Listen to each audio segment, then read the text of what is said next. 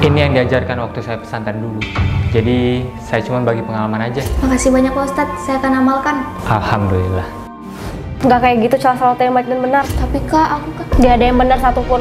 Aku bisa ngajarin kamu dari awal sampai akhir. Tapi aku mau ketemu dulu sama Ustadz yang udah ngajarin kamu itu. Yaudah yuk kita ke rumah Ustadz tuh. Ya kak, Assalamualaikum. Eh, banyak tamu nih. Pak Ustadz udah nipu saya. Loh, kok tiba-tiba nuduh? Kamu udah ngajarin adik teman saya gerakan sholat yang salah. Nanti orang lain ngikutin bisa dosa tahu. Lagian, jadi orang gampang banget ditipu.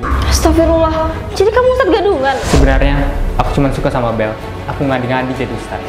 Aku mana tahu apa-apa soal ilmu agama. Jadi semua yang kamu ajarin kemarin itu